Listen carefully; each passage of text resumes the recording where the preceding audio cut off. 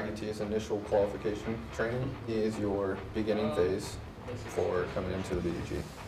Whether you are a brand new airman to a master sergeant in the BDG, you go through this course, it's three weeks, and you get the bare basic of tier three training and expectations that are going to be assumed of you down at the BDGs.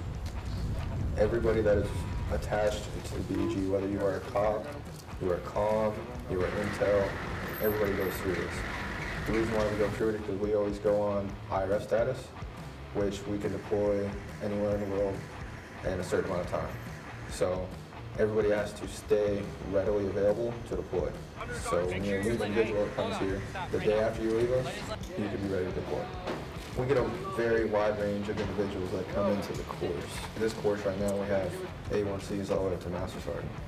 So being a senior airman, you have to be able to teach to every person's level.